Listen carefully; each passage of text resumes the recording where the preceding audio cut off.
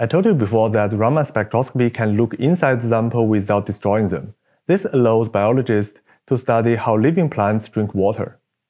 While some crops still thrive in a drought, some are more sensitive to the amount of water they receive. To better understand this difference, scientists want to monitor the water uptake of roots without disturbing the plants. Although the root cellular structure is no mystery to a microscope, it is still impossible to see the colorless water between all the cells at the micrometer level. However, a research team at Nottingham University made the water transportation mechanism visible by applying Raman imaging. For this, the researchers used so-called heavy water. Here, each hydrogen atom carries an extra neutron but remains chemically equivalent to water. But as the deuterium atoms are heavier, the frequency of the molecular vibration changes. Therefore, Raman spectroscopy can easily distinguish heavy water from normal water.